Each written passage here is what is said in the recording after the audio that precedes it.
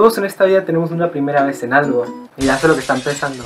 Todos alguna vez en esta vida tenemos que trabajar, ya sea por necesidad, por gusto, por lo que sea, por aprender. Y en mi caso yo he tenido a mis 16 años y medio solo dos trabajos. Y de los cuales les voy a hablar del primero, que bueno, ese es el más importante, ¿no? Porque es el primero y de las experiencias que he tenido y algún consejo o algo así que les pueda dar. Pero antes, gente, una meta de 50 likes para que haga más videos de este estilo. Igual, gente, recuerden seguirme en Instagram, gente, ya para llegar a los, no sé, a los 600 followers en Instagram. Ya sé que es muy poquito, pero quisiera llegar.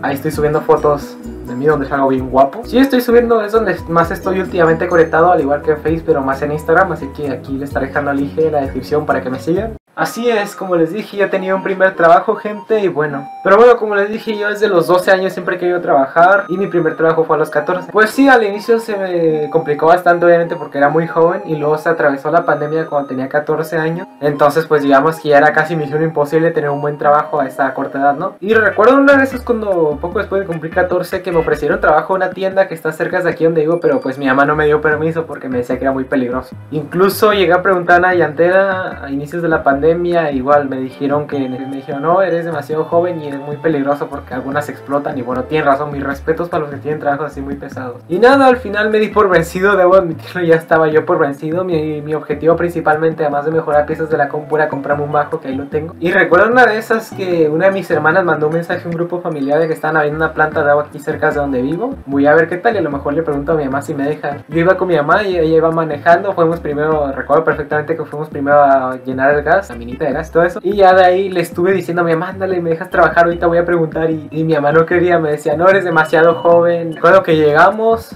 Llegué, rellenaba mi garrafón. Y ahí estaba la esposa del don del agua trabajando. Que de hecho es muy buena onda, es muy buena gente, es muy, muy educada, así. De, siempre tiene un tema de conversación y es divertido, está, es interesante, ¿no? Me acuerdo que le pregunté, oiga, disculpe, nos está buscando quien le ayude aquí al trabajo. Y me dijo, ah, espera que llegue ahorita el don. Y ya tú le preguntas y a ver si te da permiso. Y para mi bendita suerte, ahí estaba llegando el don. Y ya justamente llegó y le dije, oiga, disculpe, me deja trabajar con usted. Y sí, increíblemente sí me dijo, bueno, además de que nunca, nunca he aparentado mi edad. Eh, yo le conté que iba a clases virtuales, iba en tercero de secundaria, recién había entrado en plena pandemia. Eh, era 2020, era como septiembre más o menos para que fuera estar aquí a las 11 y media, más tardar a las 12 y fuga. Y yo iba a salir a entregar con él. Si se preguntan de cuánto era la paga, porque hay mañosos que yo sé que les interesa saber cuánta, cuánta feria ganaba. Realmente ganaba 120 pesos al día más propinas. Yo sé que van a decir, no manches, ganabas bien poquito. Ay, considerando que trabajaba de 12 a 4 o 5 más tardar. Yo van a decir, no manches, te pagaron una miseria. Y el don acababa de comprar el negocio, de abrir, de rentar el local, comprar el botellón ese enorme que es como de 5 mil litros. Y además que es mucho, mucho lo que gasta en el agua. O sea, ya era filtrada la que llegaba. Y luego volvió a pasar otra vez por varios filtros. Uno de arena y piedra, algo así. Por varios de carbono. Y luego al final sí llegaba pues al botellón ese. Y cuando tú ibas a llenar el garrafón, este volvía a pasar por otro filtro de rayos ultravioleta, creo. Que ese era el que mataba las bacterias. Entonces sí era una, era mucho. Más aparte pues personal, gasolina y todo eso, pues obviamente era un gasto enorme. Pero hasta eso, con propinas, ¿cuánto ganaba? Si se preguntan, ganaba de 20 a 50 pesos al día, o menos como de 20 a 40 pesos al día. Solo llenábamos, subíamos como 40 y tantos, casi 50 garrafones a la troca, así que además que la verdad mis respetos para el don porque él se, aventaba creo que dos viajes, ahorita creo que se avienta tres al día. Uno a la mañana como a las 9 más o menos se salía ya, era que ya tenía que estar entregando, y otro a las 11, 12, que es el que les digo. No sé de dónde saca energía. Se preguntan cuántos años tiene el don, tiene como 53 por ahí. Tiene más energía que yo con 16 años, es que me siento humillado, no puede ser. Y la verdad, si estás viendo esto, don, pues la, verdad, mis respetos. Obviamente no voy a decir su nombre, pero bueno, si lo está viendo, mis respetos porque ya quisiera yo tener tanta energía. Y si yo no sé cómo la hace para tener tanta energía.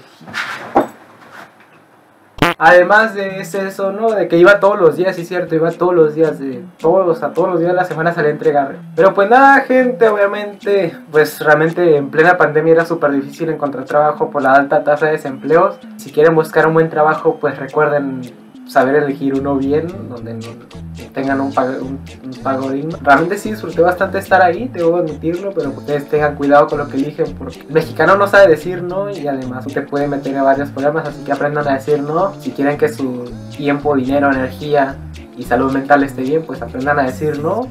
O bueno, cuándo decir no. Porque hay unos que por no querer quedar mal, dicen, sí, sí, pues, aunque no quieran. Así que sí, gente, su, su salud es primero, su energía, su dinero, todo eso, ya después el trabajo, incluso los estudios, aprendan eso, de que su salud mental y todo eso es primero, ya después el trabajo y no traten de poner todo eso encima porque al final les puede costar, les puede salir mal.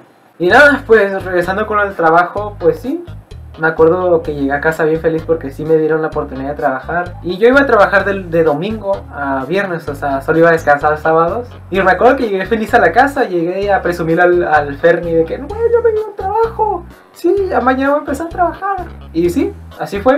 Al día siguiente acabaron las clases virtuales y salí corriendo hasta allá a, a la plantita esta, la purificadora. Todavía no llegaba al don, era tempranito, eran como las 11 y media, 11, 20. Ya nada más subimos garrafones y salimos a entregar y ¡fum! Y realmente era súper sencillo, lo único que teníamos que hacer era que ponía el megáfono de que llegó el agua, para que la gente salga. Y ya una persona pues nomás decía, yo, yo, quiero agua. Y ya pues lo único que teníamos que hacer era levantar un garrafón. Si el garrafón de esa persona que pidió agua estaba muy feo, pues levantábamos uno feíto, uno normal. Eh, le poníamos un embudo, que era como un conito. Y el garrafón lo cargábamos y pum, lo girábamos y lo poníamos encima del garrafón y ya pues empezaba a vaciar. Habían trucos de que dejábamos que, de que un pequeño un espacio para que salga el aire, lo levantamos y lo empezamos a girar. Y se hacía como un remolino y era, no sé, era divertido ver eso. Y sí, al inicio eran simplemente casas normales. Hasta que llegamos a los departamentos, los malditos departamentos.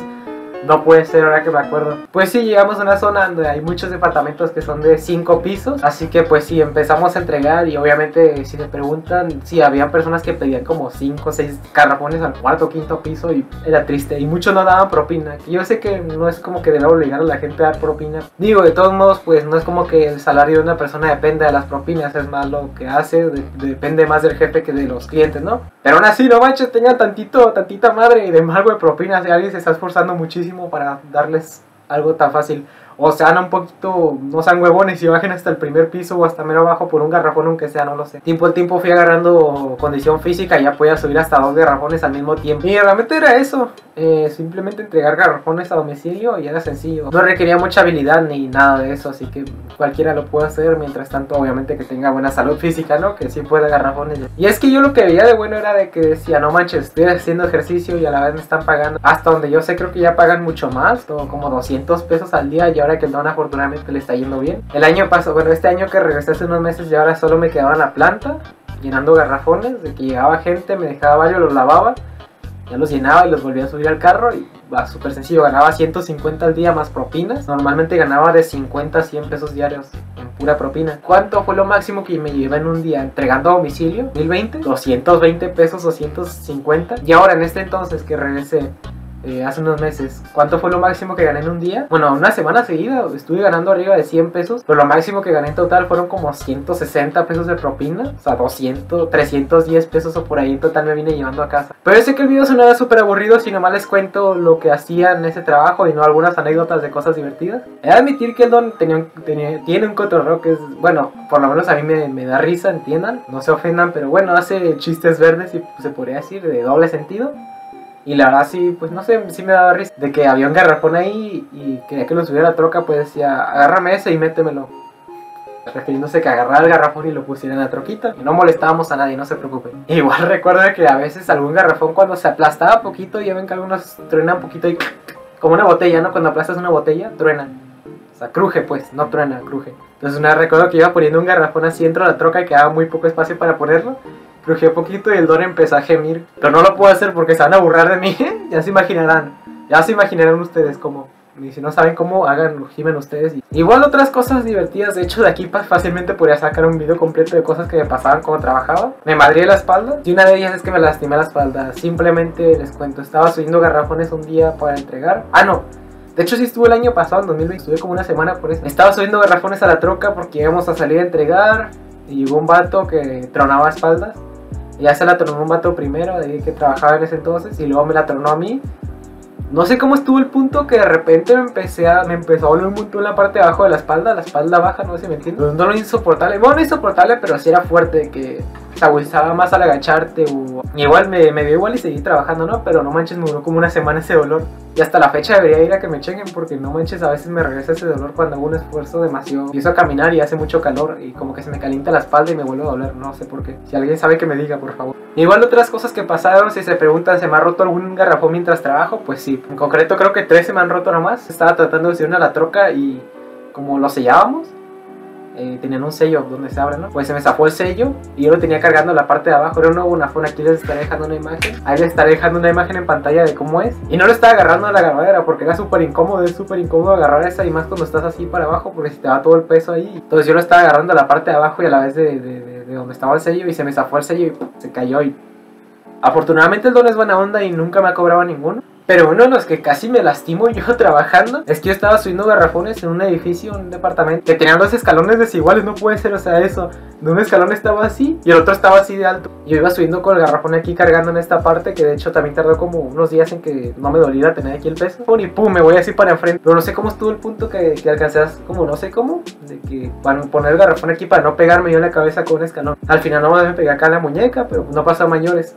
Solo fue el garrafón que se rompió y ya. Y también me quemé con una pistola de calor aquí en esta parte de la muñeca. Nosotros, si llevamos los garrafones para pues, salir a entregarlo, será de que pasaba la pistola de calor alrededor. Es para los que no saben, es una pistola que pues tira, una pistola que tira aire caliente. Me parece que tiene muchos usos, incluso en computadoras para hacer reflow de chips y todo eso. Y aquí lo que hacíamos era de que se hacía el sello pues más pequeño, como es plástico se derretía y se, se adhería más. Entonces estaba yo sellando los garrafones y la boquilla, bueno, esas pistolas de calor sacan aire calientísimo como a ciento y tantos grados y si lo dejas prolongado. Eso no los puedes dejar como más de media hora conectados, o sea, prendidos, porque se derrita y pues se puede despegar y puede lastimarte, hacerte daño. Esa, la boquilla de la pistola de calor suele llegar hasta 500, 600 grados, llega a muy altas temperaturas. Entonces yo un día estaba sellando así como si nada, ya sabía, ¿no? Entonces estaba sellando. Y ya lo estaba enrollando del cable y que me quemo, o sea, la boquilla, la boquilla caliente me atravesó toda esta parte de acá, me rozó. Ahí tengo imágenes, pero no las voy a poner porque no las voy a poner porque son muy fuertes. Pero me quemó esta parte de aquí no me di cuenta, la verdad. No sentí que me rozó y yo pensé, dije, ah, no. La dejé, pero sí me tocó, o sea, sí me tocó, pero dije, nah, no, no habrá pasado nada, fue muy rápido. Entonces la dejé por ahí, volteé a ver, tenía la piel así como negra en esa parte que me quemé, como charruscada, pues. Y nomás le hice así con el pulgar, o sea, o sea, con el pulgar así,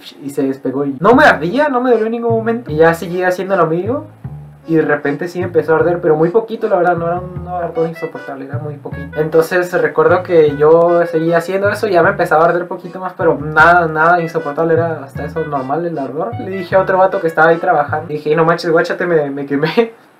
Ya ese vato me dijo, pues ve y lávate o ponte algo ahí encima. Y sí, me fui a lavar y, no, no sé por qué con el agua empezó a arder más, pero seguía siendo, no, no era insoportable, la verdad. Y ahí estaba la esposa del Don y le dije, no, pues mire, me quemé me quemé aquí, pues con la pistola de calor que puedo hacer no tendrá algo. Y pues se asustó muchísimo ella. Y al final lo único que hizo fue como echarme un polvito blanco y, envolverme así toda esta parte de acá con unas vendas.